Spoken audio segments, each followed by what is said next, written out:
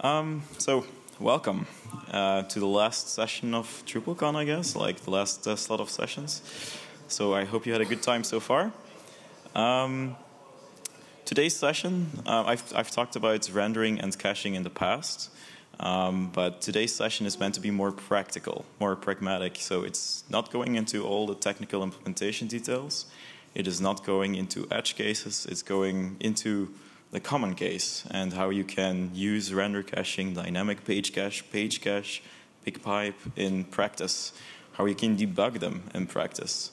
So if that's not what you're looking for today, then maybe switch to a different session. If that is what you're looking for today, then uh, I hope you will enjoy what's to come. Um, I am going to do a live demo, live debugging. Um, so if you have questions along the way, raise your hand so I can jump into things uh, on the spot. Hopefully all goes well. It's a live thing, um, but I think it's more more useful to see it being demonstrated how you can step through things than it is just on pure slides.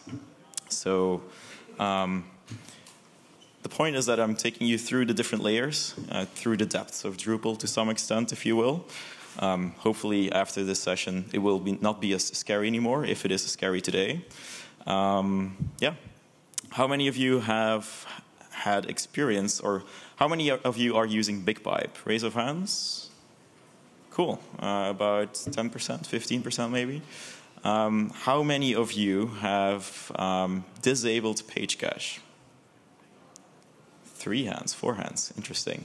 How many of you um, have seen the X Drupal dynamic cache response header and have seen it set to uncacheable and wondered why.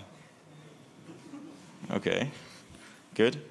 Um, so hopefully all of those things should become clear. Um, and again, please interrupt me uh, if you have a question. So let's get started. Um, I'm going to go very light on theory, but this is basically like the only slide I have about caching. This is uh, the principle of caching, right? So I think I don't really need to explain it, but I'll just go over it real quick. Um, the, the, whole point of computing is that you have a bunch of inputs, you, you apply computations to it, and you get output. So we're uh, making a robot do a bunch of work, uh, and it takes time, um, and we want it to go faster. So what is caching? It is instead of making the computation again and again, based on the inputs, we generates a cache ID, something that represents uniquely the thing that we are computing. And then we read the computed output that we stored previously and just return that. So the point is to save time by storing some data somewhere that we can look up easily. That's simple, right?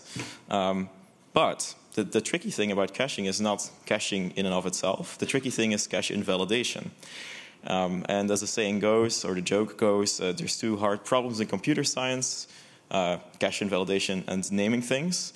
Well, Drupal 8 um, tried to solve cache invalidation, and hopefully you'll see, or if you've already experienced it, you've already noticed that it has solved cache invalidation. Not in the general way, perhaps, but for the purposes of Drupal, definitely it, it did. And so, for um, perhaps what, what does cache invalidation mean? Well, the, the thing is that if inputs change, that the output should also change. And that's a tricky thing. We don't always know perfectly well when inputs change. And that was a very big problem in Drupal 7 and before. But for Drupal 8, we have the concept of cache tags and cache contexts. So cache tags describe data dependencies. They describe when stored data is modified, when it changes. So uh, when you have something that is stored in cache, so some output that we cached, uh, what matters is that the cache ID is always correct and that the stored data that we read is always up to date. Otherwise, we're showing them either wrong data or stale data, and we want to avoid that. So tags describe when a input has changed. So for example, when a user profile, let's say it's a user profile, uh, and they change their hobby from table tennis to snowboarding, like that's important that it shows up right away on the rendered output. That's what cache tags describe, such stored data changes. Contexts, on the other hand, describe circumstances, the context. Um, and an example would be rain or no rain. So imagine it is raining, that should show one result. Imagine it is not raining, it should, it should show the other result. So based on tags and context, we can define what the cache ID should vary by. So the cache ID is a thing we look up, and either we should look up the rain or the no rain um, cache entry or the rain cache entry, either one. In this case, there's only two possible values, but perhaps for some cache contexts, there is 10 or 100 or 1,000. Um, so cache contexts impact the cache ID. They de describe variations. Um, cache tags describe changes in the stored data. And both of them are necessary to do this correctly, to do cache lookups correctly and invalidate them correctly. There's a third that is less important, um, max age. Probably all of you have heard of max age before because it's uh, part of the HTTP uh, cache control header. It's the same principle. Max age you only need for freshness, staleness, data that is always changing. Things like the current temperature. It's like if I show the current temperature right now, then one second later it might be different, right? So it's only for time-sensitive data, and that means things like charts, graphs, uh, for stock exchange, for, for weather and whatnot. So that's really all, all, this is about. The caching means in taking in inputs, going to an output, but that's trivial. The tricky thing, the hard thing that wasn't solved until Drupal 8 was um, invalidating correctly. Uh, in Drupal 7, what happened was either you were serving stale data, or we were just invalidating the entire page cache, the entire render cache, every single time a comment was posted, a title was edited, like everything was invalidated. Well, of course, things are correct then, but you're not really using the cache system effectively. Um, this was about the cache system. This is about the render pipeline. Um, the diagram, like this, this looks uh, pretty scary, right? Um, so that's why I have this fitting emoji there. So I'm not going to go into detail about this. I did a talk about this two and a half years ago, and it's still completely accurate. So if you do want to know the ins and outs of the render pipeline and where you can tie into things and whatnot, um, please go to that talk or go and look at that talk. Um, that's not what we want to do here today. It's, uh, it can be overwhelming for sure. This is um, uh, the diagram we're going to look at. Um, hand drawn took me a lot of time, so it's a, a bit strange, but I hope you will um, you find it clear. Um, so for Drupal, what, what is really happening, Drupal and any other CMS or anything on the web, really, it receives a request and it builds a response. That's, uh, that's what the web is about, right? Now, when Drupal receives a request, it routes that to a controller, controller or page callback in Drupal 7, but controller in the end, what it does is returning a render array, so something like this. Um, and eventually, the render system will decorate it uh, with, for example, blocks if you're using the block module, or if you're using panels, then there will be panels surrounding the main content and whatnot. But basically, you're effectively building a massive render array. Uh, who here has cursed render arrays at some point? Okay, everybody else clearly hasn't used render arrays yet. um, yeah, they're good, they're great, but uh, they can be frustrating. Um, so we go from a request, we go to a controller. The controller returns a render array. The render array can be uh, expanded further by, for example, the block module, but eventually it goes into the renderer. And the renderer, what it does is take those uh, render arrays and build HTML fragments. So for example, an entire sidebar with over here at the bottom, the red part is a placeholder. This may be, for example, let's say um, a video.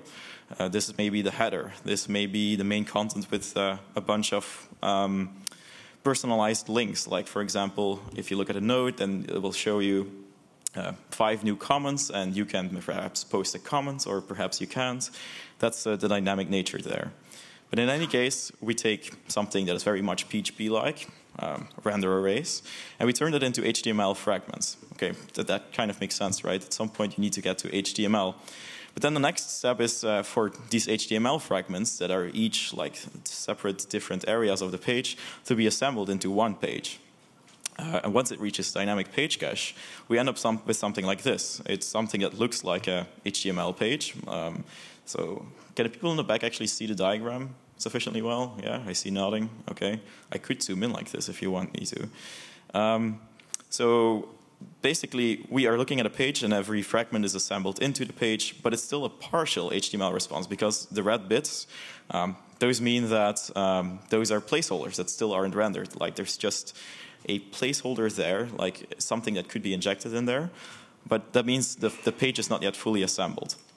Um, the interesting thing, though, is that dynamic page cache can cache this page as it is, as you're looking at it right now, which means that instead of going through the process of going to a controller that returns a render array, then we build a render array further, then we turn it into HTML fragments, and then we assemble those HTML fragments into an HTML response, we can skip all that. We can just go from request right away to dynamic page cache. So we can skip a lot of code that we would be executing otherwise. This is how a dynamic page cache can accelerate things. You can go right from incoming request to a partial HTML response, at which point the only things that still need to be rendered are these tiny bit, uh, red bits. So that's a huge time saver, which is why dynamic page cache is in Drupal core, which is why it's enabled by default. It, it, helps everyone. It helps anonymous, authenticated, sessionless, session responses. It helps all of them. But then as you can see, we, we reached this fork in the road, if you will. Um, so we either go to page cache or we go to BigPipe. And um, I saw that only 15% of you uh, have enabled BigPipe. Um, there's no reason for you not to enable BigPipe, honestly. Um, it's, it's stable as of Drupal 8.3. We're about to release Drupal 8.4. Um, it is being proposed to be enabled by default in the standard, standard install profile. Um, that is still ongoing. Uh, there have been other priorities, but uh, after what you will see today, hopefully you'll consider enabling it because it, it is helpful. But anyway, page cache. Um, page cache is what we use for anonymous users. Um, page cache is what can accelerate um, responses for anonymous users, that, which would mean that we can go right from the request, not to the dynamic page cache, but immediately to page cache responses. And page cache contains final HTML responses. So as you can see, the, the red bits have turned green, meaning the placeholders have been replaced with their final contents. So for example, the thing here at the bottom of the left sidebar will contain a personalized block and uh, the, the green bit over here in the main content uh, contains the comments, uh, five new comments links. You can post a comment or, well, it's an anonymous user, so you probably can't. The point is, um, we can go right from request, bam, to a final response, which is why Page Cache is able to send responses in a few milliseconds, super fast. But that doesn't help you if you have an authenticated user. So that is why there is BigPipe to accelerate those responses. Uh, which means that we still are going from request straight to dynamic page cache's uh, partial HTML response. But then we go to page to BigPipe, and what we can do is we send immediately the thing that uh, dynamic page cache stored, which is a partial HTML response. So we can send send this data, this HTML, right away, as you can see here. But then we keep the connection open, we keep the TCP/IP connection open, and we send the fragments the, the placeholders, the red bits, the values for those, we send them afterwards. Which means that immediately, even for authenticated users, you see the majority of the page. You see the skeleton of the page at the very least, the menu and whatnot, the header. But then the personalized bits show up later. And that is pretty powerful. Um, I did make one simplification because most of us um, care about anonymous versus authenticated. But for many of us, it's actually also the case that what we also care about is anonymous users with sessions. For example, uh, a e-commerce website, Drupal commerce sites. So Drupal commerce, if you add something to the shopping cart, as an anonymous user, obviously you started a session. And um, that means that page cache cannot be used anymore. But you can still use BigPipe. And so BigPipe can still send everything in a page and then stream the contents of the cart or the rendered cart can be streamed afterwards, which means that Drupal Commerce has an advantage over other e-commerce solutions because it can stay fast even when using a shopping cart, which was a huge problem before. So, long story short, request comes in, turns into a render array. That's what, what you provide as a, a module developer. The renderer turns it into HTML fragments. HTML fragments are assembled together, but the placeholders aren't replaced yet. Before it ends up in page cache, the, the placeholders are replaced, and at that point, things are super fast for anonymous users. But for authenticated users, or more specifically, users with sessions, anonymous or not, uh, we can stream the result that is stored in dynamic page cache right away, which means you within milliseconds get something, and then the final bits will follow dozens of milliseconds later where you have the replacements for those placeholders. So together this means that Drupal has a pretty complete solution for accelerating things at different levels. Um, you could argue that the HTML fragments, which by the way are also cached individually, like we wouldn't necessarily need that if, if you always have dynamic page cache. Um, but it's still helpful in certain other cases because, for example, maybe if page A and page B, they both use this same HTML fragment, if that is also cached, then that can be reused. But at each of these layers, so the HTML fragment layer, the partial HTML response layer, the fully assembled um, page cache layer, all of those are performing caching. So that's where rendering and caching come together. That was basically all the theory I have. Um, so let's look at a concrete example.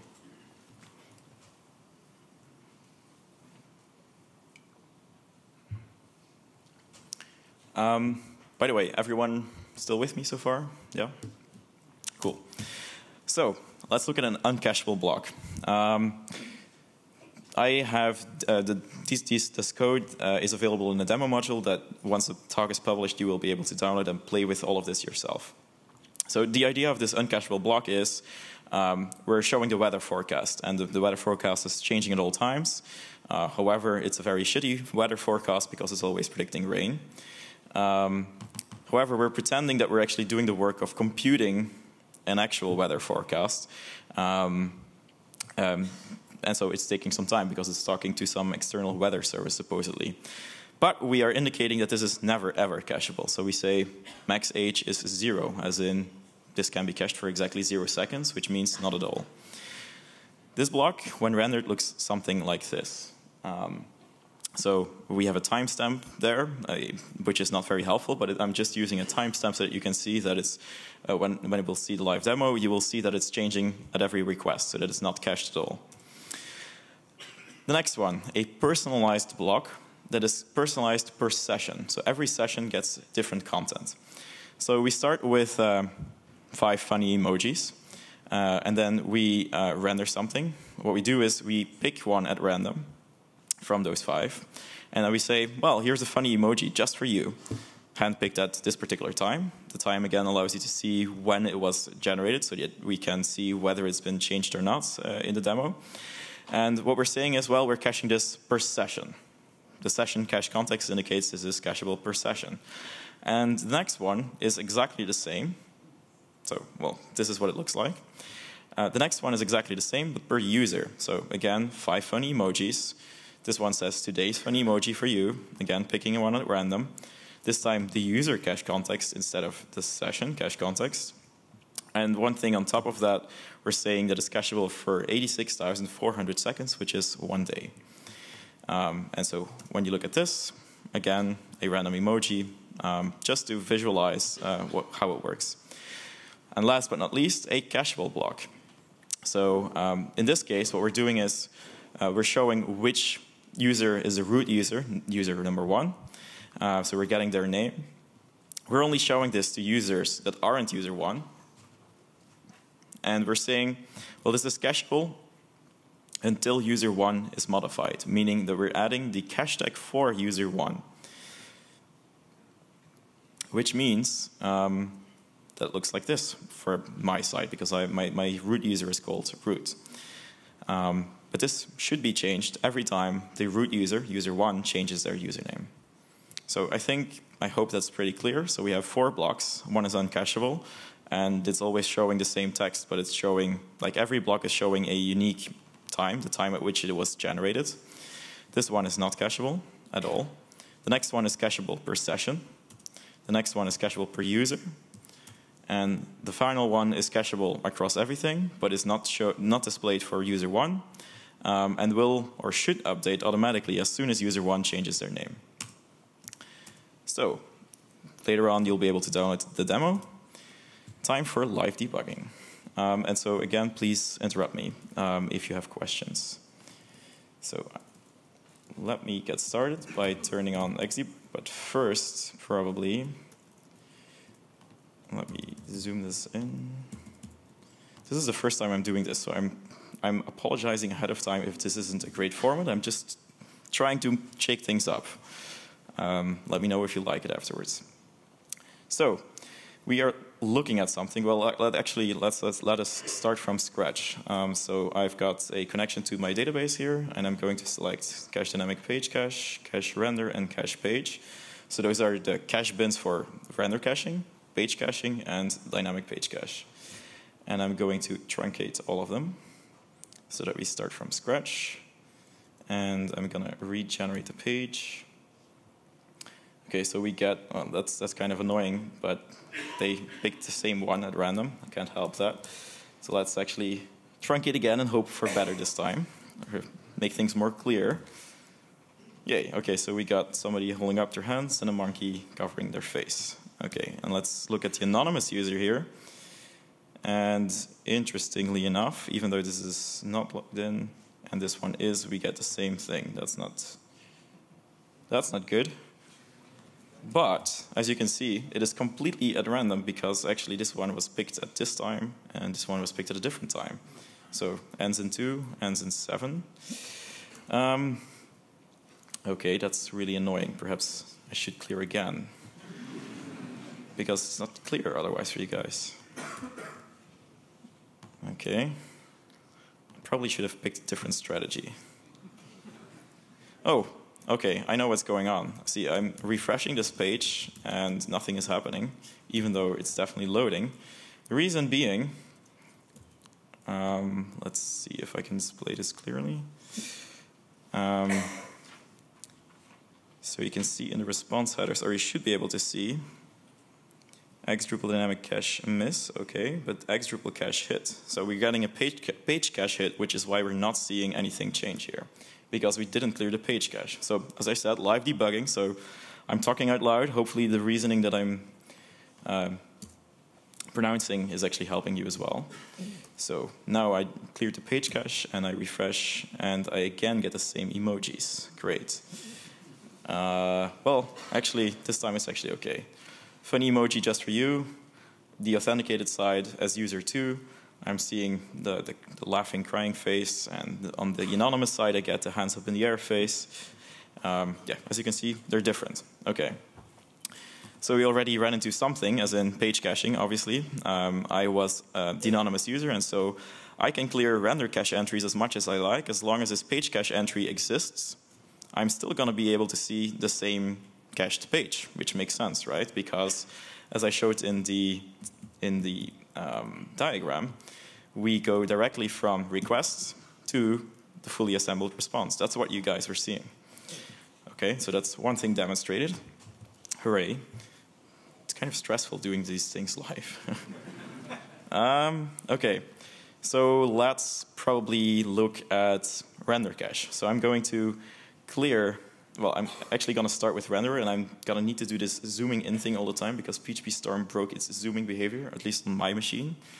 I don't know why, but um, anyway. Um, so we're looking at the renderer, uh, but I actually know that I need to look at the render cache because that's where it's actually being stored. So if you go to the renderer and scroll down, you'll see that one of the injected services is uh, this one, render cache. So I'm going to click on this one which is the interface. But if I then press Control H, I can see the hierarchy, and I can see that there's only one implementation, which is render cache.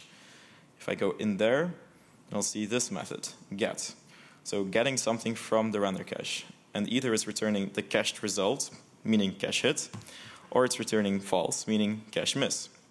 Actually, let's look at uh, all the breakpoints. Um, perhaps turn on Xdebug first. Okay. And perhaps already, okay, that works. Um, and actually I can show you all of the, oh, all of the um, breakpoints. So I added, just added these two, uh, the ones in render cache for cached elements and for false.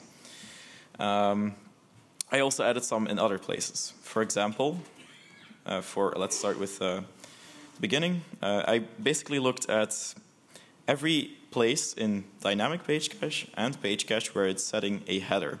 Because both modules signal to you as the end user or to you as a developer what actually happened here. So it always says X Drupal dynamic cache uncacheable, or X Drupal dynamic cache miss, or X Drupal cache X Drupal dynamic cache hit.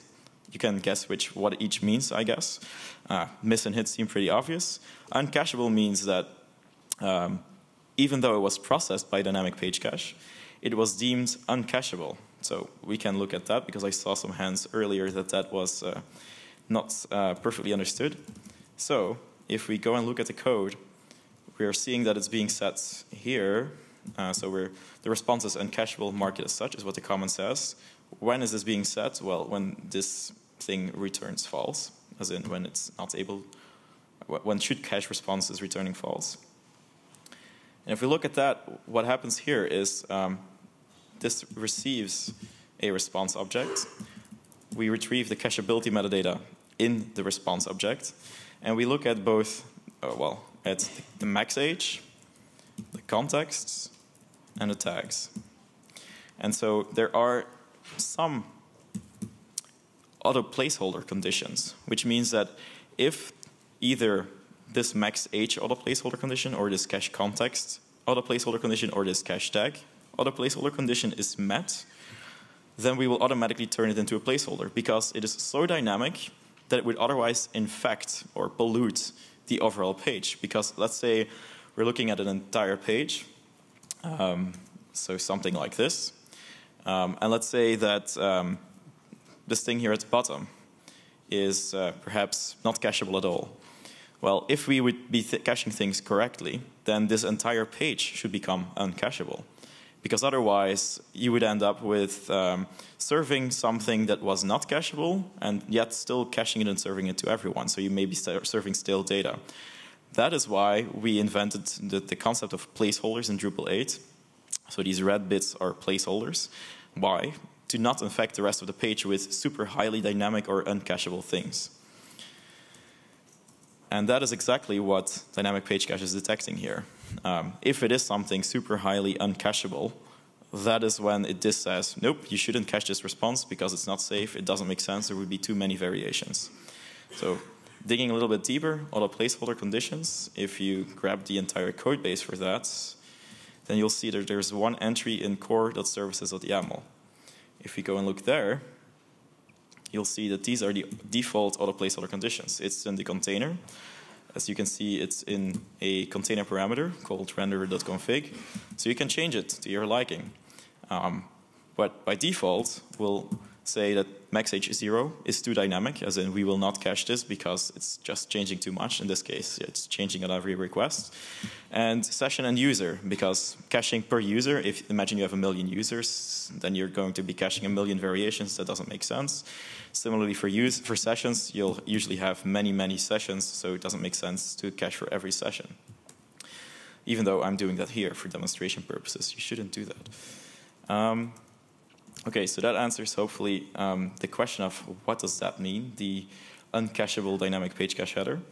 Then we have similar breakpoints in page cache for a page cache hit and for a page cache miss.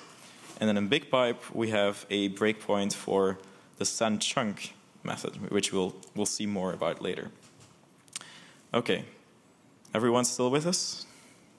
Any questions? Not zoom in. Okay.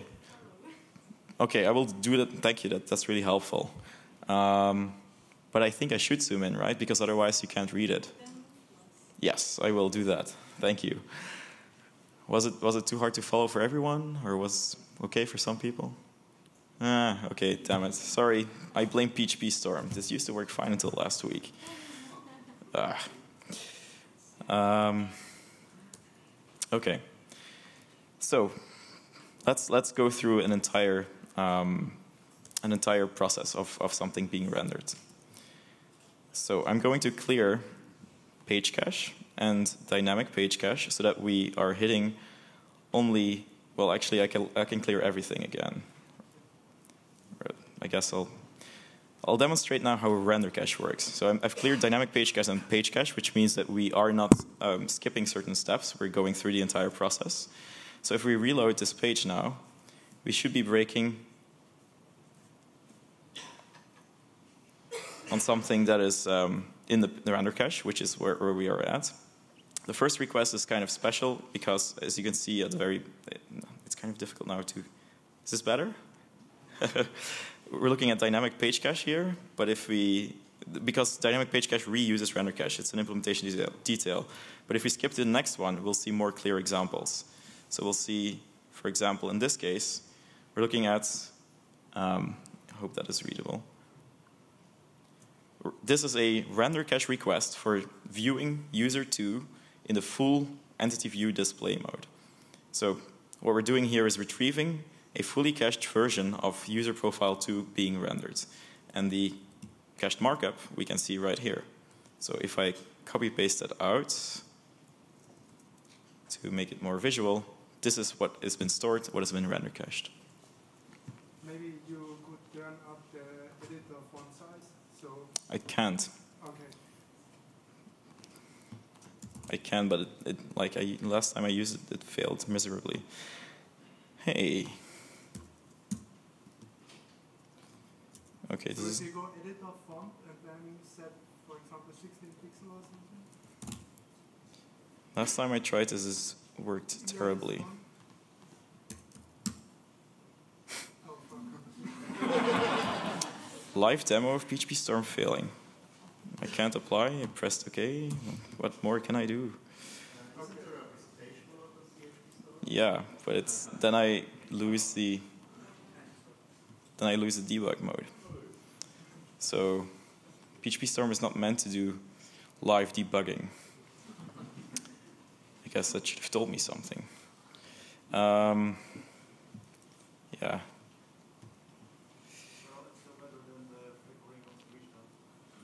It's still better. Oh yeah. um, okay, so this this shows you one render cache entry being retrieved. If I so I keep jumping ahead, so I'm I'm pressing uh, the continue shortcut, resume program, option command R. So now we are retrieving um, entity view block Bartik account menu. So the account menu block we are retrieving from render cache. We're retrieving the branding block. We're retrieving the main menu block. Retrieving the messages block. Retrieving the breadcrumbs block, and so on and so on. So on the, this particular page is very simple. So you're not seeing much besides blocks because what you're looking at, if I refresh the page without, uh, you see that this is basically the only entity on there and everything else is blocks. So that's why we were only seeing render cache entries being uh, discovered. So that's the first phase. A, a page can be accelerated by render cache but then it's assembling each of these different parts. All the small parts are being assembled separately. Now, uh, if I uh, refresh the page again, or let, us uh, let's do something else. Let's look at the network while refreshing the page. We should, in theory, now um, be able to see the dynamic page cache has a cache hit. And indeed, it has a cache hit because I just refreshed it, so I filled the cache, and now it's filled. So we have a cache hit. So if I clear it again, I should see a cache miss. Cache miss. Um, and so every subsequent request for this particular combination of contexts will be a cache hit. But uh, you will probably notice that there is no X Drupal cache header in here because we're not an anonymous user. We can only hit a page cache as an anonymous user. So let's look at that instead. Um, so again, cache page, there's one entry now. And that means if I refresh this, look at the response headers, dynamic page cache was a miss because the cache hit was for the logged in user. Currently I'm the not logged in user, which makes sense then that dynamic cache is a miss. But X Drupal cache is a hit. Um, now if I go and delete it again, the page cache entry, so I'm still in the cache, cache page bin. If I delete the only entry in there, then I should be getting a cache hit. Sorry, a cache hit for X dynamic cache because it was filled the previous time, but a cache miss for page cache because I just deleted that. So in this case, we're seeing a cache miss for page cache, but a hit for dynamic page cache. Why? Well, because what is happening is this was cached So this is what the hit is representing. We had a partial HTML response that is stored and that can allow us to skip, the, the steps from render array to fragments to partial HTML response. We can start with the partial HTML response, so that part is a hit. But page cache was empty, which means that was the thing that was missed. So that, that is why there can, like, I can imagine it's sometimes confusing why some things, some things are sometimes a hit and sometimes a miss. Hopefully this uh, clears uh, that up a bunch. Now if we go to the Let me know if I'm skipping ahead, but if, are there ways to deal with this from a client-side rendering or an edge-side rendering aspect? Let's say you have a reverse proxy in front of it. So the question is, can you make this integrate well, I think, with a edge cache is the basic question. Or or yeah. Um, because I, although this looks very efficient, mm -hmm. you want to avoid hitting the PHP runtime yep. or consuming web server connections yep. under load. Yep. So um, um, I wasn't planning on covering that, but it's fine. It's a fine question. Um, so page cache here is effectively something like Varnish. It is effectively implemented without any inside Drupal knowledge. So anything that page cache can do, also by definition, must be possible in Varnish or any other edge cache. Which means that for sessionless responses at the very least, it is totally possible to do cache tag based invalidation of anonymous responses. So the answer is yes for anything cache tag based. For cache contexts, that's more difficult because cache contexts require um, inside knowledge because, for example, if something varies by user, like the edge is never going to know which users exist or which the current user is or which session it is and so on. Although there are techniques to make that work, but it's super advanced, super complex, requires a lot of complex infrastructure and the edge needs to be communicating with the origin, so that makes things more complex. Um, but there, uh, there, there is a way to do it. If but there's no built-in way to just render ESI tags for these fragments. Um, the question is: Are there no? Is there no built-in way to render ESI tags for these fragments? Um, or JavaScript for like hinclude tags. Yeah, hinclude is kind of a dead thing though, but yeah, as far as I know. Uh, but so yes, you can you can actually integrate this very easily. That is actually what BigPipe does. BigPipe uses exactly the same approach. So I will I will cover that now actually. So hopefully that will answer your question in more detail then.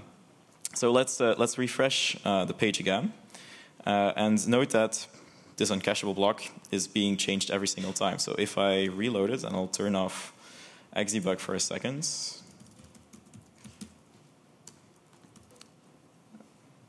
So you can see that it's now 79, 84, 85, 86. As you can see, I can keep refreshing and it's, uh, it's custom every single time.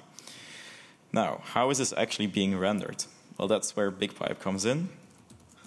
Let's turn Xdebug on again and let's refresh the page and actually turn on listening for debugging again. So I'm going to skip the render cache stuff because we covered that. Um, this is also, like, I, I, put a breakpoint there. So this is an ideal way for you to debug these things and try to get an understanding. So I specifically chose these points which, because they're very easy to find. So if you grab dynamic page cache or page cache for um, literally hit or miss, then you're able to easily find those points that you want to put a breakpoint at. Because just before those points, you have the decision logic that determines whether it is going to be a cache hit or a cache miss. But we, we are interested in BigPipe right now, so I'm going to disable this breakpoint as well. And now we are in the BigPipe class. And we're sending chunks. I'm trying to zoom in and out slowly, and I'm not sure if I'm succeeding. Very sorry. Um, going to try to demonstrate all the things at the same time. Okay, so I'm going to kill this first. Oh crap, I closed Firefox, I no. I'm going to, to go to a blank page, about to load user 2. So now you can see we start from a blank slate, right? The first thing we are sending, the first chunk we are sending in BigPipe is this and I'll copy paste it in here. That should be more than legible. Perhaps it's too big. Um, so as you can see, just an HTML document, as you would expect, but there is no closing body tag. That's strange. Um, well, it's because what we're doing is sending placeholders. Uh, and we still want to stream the replacements for those placeholders. So we have BigPipe style placeholders here right now. We have one for the rendering of messages. We have one for local tasks. We have one for the uncacheable block, the one that shows the one that was just refreshing all the time with the weather forecast. We have one for the personalized block per session, one for the personalized block per user, and then finally one for the cacheable block. So as you can see, all of these are placeholders, and there's no actual content in there. This is very much like ESI, as, uh, as you were asking. Um, so what is happening is, in Drupal, there's a concept of placeholder strategies. Um, so you can choose to replace placeholders in multiple ways. BigPipe is just one way of replacing placeholders. Another way could be an ESI module that renders ESI includes and then just refers to a URL where those includes can be uh, fetched and rendered. So that's exactly what you were asking. So as we can see, we have like six placeholders. And if we continue now in Firefox and in the debugger, let's, let's let uh, PHP send this first chunk. Bam. This is what happens basically um, when BigPipe is being used. You can see that the majority of the page is visible. Uh, you can see that the cacheable block is there. The personalized block, both of them aren't there. The uncacheable block is also not there, um, which means that everything was sent except for those red bits, uh, if I'm talking in this metaphor, right? What we basically did was sending this part. The green part is what we are about to send next, the replacements for those placeholders. So, what, we, what is the first next chunk that we are sending? It's this strange looking, well actually let me just append to the bottom. That's conceptually also what's happening. We first send an enormous chunk that is the majority of the page. And then what we do is send a BigPipe start event. The next thing we send is a whole blob of strange looking HTML. Well, it's actually a bunch of JSON that the Drupal Ajax system knows how to interpret. And the Ajax system then goes and takes this Ajax command, which is about inserting, well, actually replacing some HTML. Which HTML? Well, the thing with this placeholder ID. Which one? The local tasks one. And then it replaces it with this HTML. And yes, it is HTML. It's just uh, encoded as JSON. This just means, uh, if I remember correctly, this is uh, the equivalent of um, the apostrophe. So um, we're sending the rendered version of each block of each placeholder individually after the initial page was sent. And so, as you can see, this is what we had initially. And now Ajax, once its JS runs, uh, it isn't, it hasn't run yet, which is why we don't see the first block appear yet.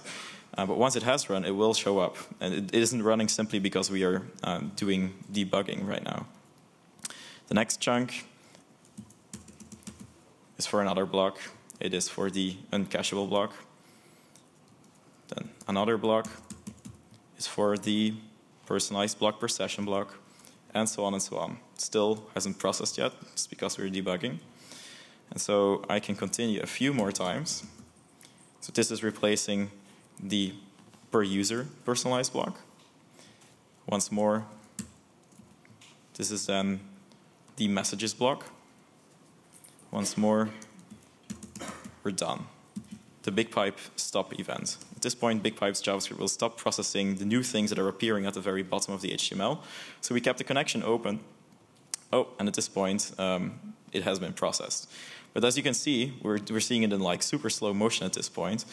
But these three blocks, the uncacheable block, the personalized per session block, and the personalized per user block, those three did not appear on the page initially, nor did the view and edit local tasks thing here.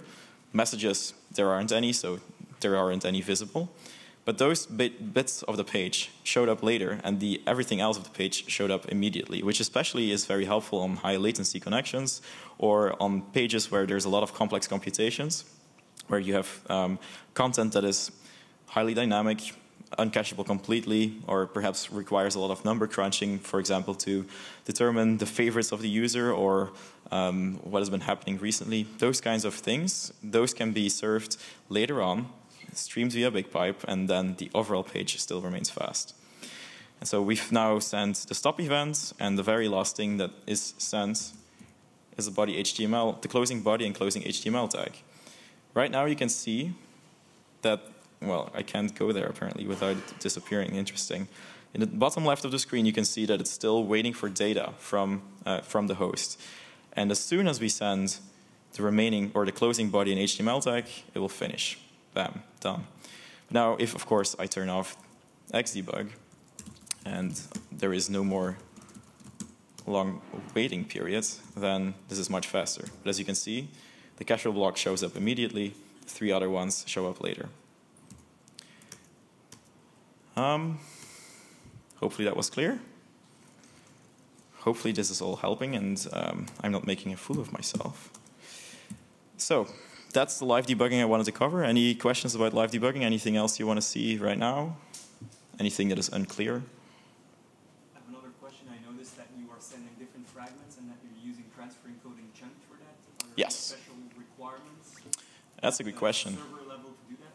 Because you don't require content length because you don't know what the content is. Yes, exactly. That so that's a good question. So um, he was asking whether we are using tr uh, chunked transfer encoding because we don't know the content length. The answer is uh, you're correct on both counts. We are using chunked transfer encoding, and we do not know the content length. So that is that is the number one requirement actually. So let me. I don't. I know one way of easily finding the documentation page. So let me just look it up for you real quick. Apparently there isn't anymore. Okay, wonderful. Um, the BigPipe documentation. This is like live usability testing of the Drupal 8 documentation. Modules. Contributed modules. Wonderful. Core modules and themes. That's what we want. And then BigPipe. Apparently still not listed. Click this first. Hopefully it's there. BigPipe module. BigPipe environment requirements, which is exactly what you were asking about. So what is required is that you are not doing output buffering, because if there's output buffering, then it's still going to wait until every, until um, Drupal is done sending the HTML, and then you don't get the benefits. So worst case, you do have output buffering, and then BigPipe will be not effective because it's still waiting for everything to complete. Um, but other than that, it like it, it can't break anything. But that's the requirement that you don't have output buffering enabled. There's also instructions on how to um, enable um, varnish compatibility. The requirement is that you have streaming, again, because otherwise not streaming means output buffering, which means um, that you can't. Um, I look this, I look desperate. Now I look desperate. okay. The last three sentences. Um, what do you want me to do? Repeat. Repeat, okay. So we're talking about how to make uh, BigPipe compatible with your environment. Um, the requirements are essentially that you are not buffering the output, because otherwise you are not effectively streaming, which means you're still waiting for the entire response to be complete before sending it. The whole point is that we're sending every bit that we have available right away, which is how things are made faster, which is how the initial majority of the content can show up right away, and then the replacements can show up later. This documentation page shows how to integrate or how to configure things correctly so that it works with everything correctly.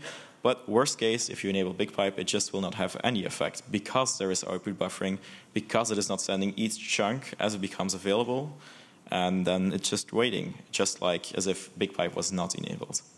But from a PHP point of view, do you just keep the connection open and just echo, echo, echo? Effectively, yes. So the question is, uh, from a PHP standpoint, are you effectively just uh, keeping the connection open and basically waiting in between echoes and then sending HTML, echoing, printing HTML?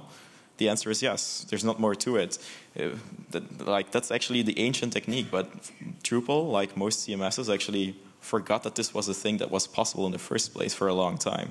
So almost all CMSs, including Drupal 7 and before, what they are doing is effectively waiting, waiting until every tiny little bit is rendered and then sending it all at once, which means that you're waiting sometimes for the tiniest uh, bits of information, which is not efficient. Any other questions? Yeah? Should I go there or? That would be wonderful.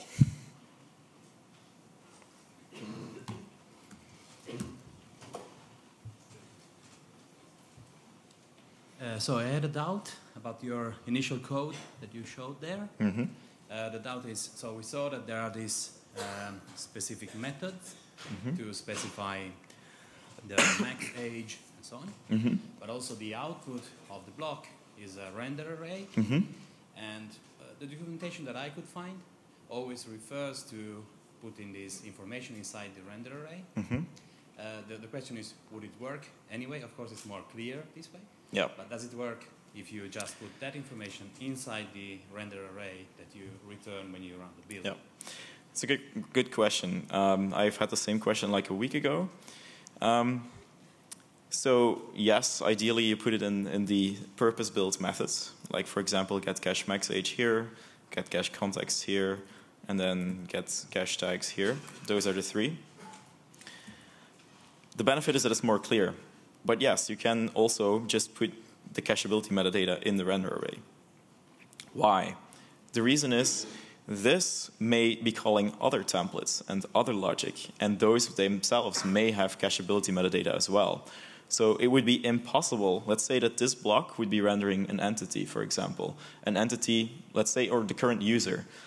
The current user doesn't, and then perhaps the current user, and then it's modifying, there, there's a module that's modifying what is being rendered, and that's adding yet more data. Like you wouldn't possibly be able to know in the logic of this block what eventually might be rendered. That's impossible. Render arrays can be extended and altered. That's the whole point.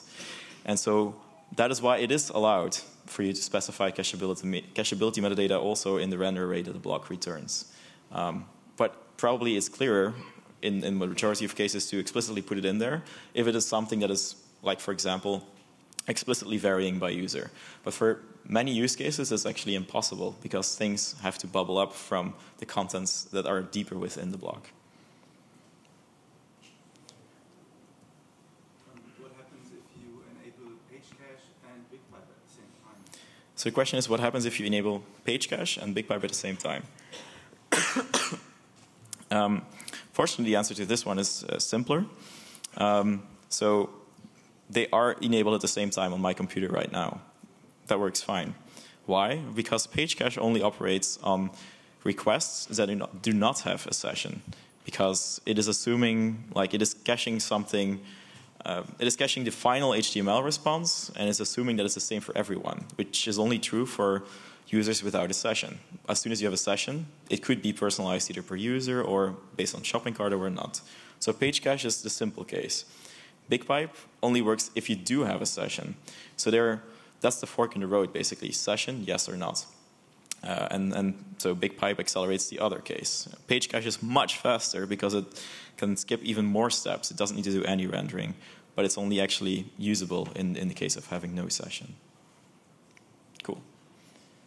No other questions? Okay. Oh. So the next bit testing. So using cacheability metadata is one thing, but if you don't apply it consistently and correctly, then things can break in unexpected ways, um, which is probably not what you want. You probably don't want uh, to have built a client project and then uh, have everything working correctly in staging and in testing and manual testing. But then as soon as it goes live, oh, apparently things are breaking in horrible ways. Perhaps data is leaking from one customer to another, or perhaps uh, stale data is being displayed. Um, they, there are possible security problems there as well, of course. So testing is important, uh, and it's, uh, in my experience, it's been something that many people avoid doing because it's uh, it's perceived as being hard or painful. So I'm, I'm I'm hopeful that I can show you that it doesn't need to be painful. Um, can look as simple as this. You can do black box testing or white box testing. I'm starting with a simple case, which is black box testing. So, what we're doing is very simple. We're asserting something. We have a custom assertion method. The assertion method is making a request and is asserting that there is a certain title. We're doing the request and we're checking that the title is in fact there. Simple enough, right? So in our actual test method, what we do is we first check that we make a request and the title is the expected one, the initial one.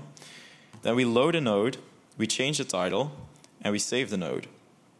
And then we assert again, and we now assert that the title has in fact been modified. Like maybe some of you are wondering why is this even like a test? Well, the reason is um, that this is proving that this is working with instantaneous validation without you having to go and explicitly clear caches. How many of you have built a site that has had requirements for editors to manually clear pages? Like that's a super common thing. Okay, only only like a dozen or so. That's interesting. Many people like, eh. Interesting.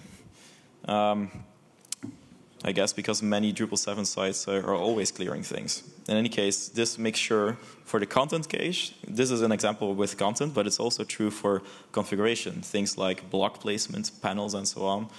Anything that is related to rendering, anything that might eventually impact rendering, should have test coverage like this, because it's proving uh, without a doubt, and you will know if there is a regression, that things are updated right immediately when they have happened. So this is black box testing. It's just uh, checking I make a change, okay, it shows up without any extra, extra measures. If we go a little bit further, there's white box testing. So we have the same sort of logic. So we have, again, an assertion method.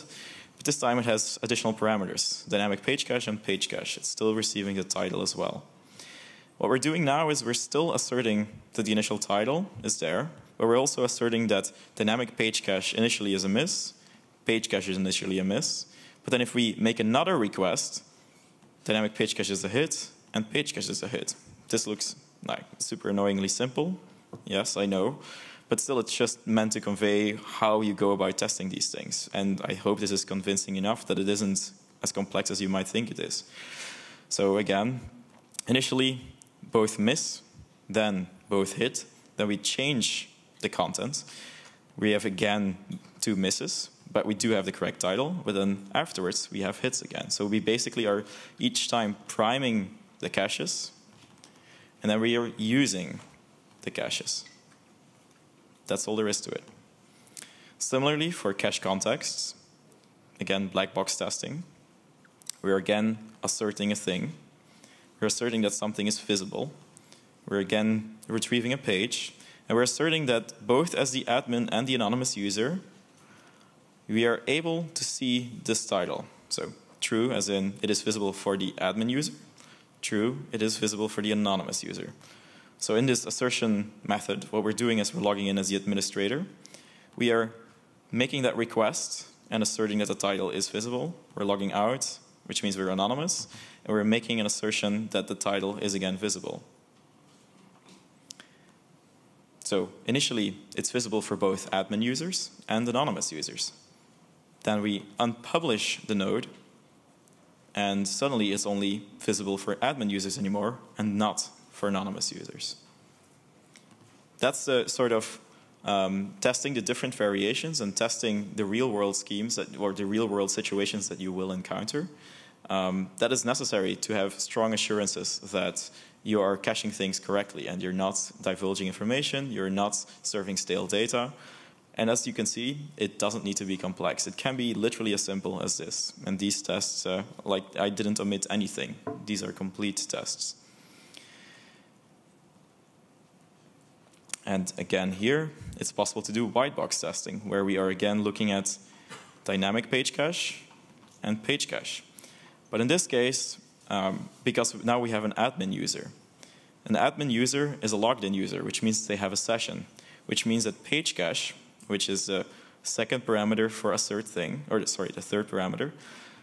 For the admin user, that means that page cache should always not be there. Like there shouldn't be a X Drupal cache header because as an admin user, you have a session, which means that you should never have a page cache entry. So this is also verifying that we're not accidentally creating entries in the page cache for the anonymous user or as the anonymous user, which would allow the information to be divulged to anonymous users. Um, this is perhaps a, a, bit dry, but I think it is valuable to know. So, testing. It's important because otherwise things may be working in very unexpected ways. Even if you have test coverage, if it's not testing these variations and edge cases, um, you are in for potential trouble. So, with that, are there any further questions? Questions about BigPipe, questions about dynamic page cache, render cache, everything was clear. You ran out of time. Okay, thank you.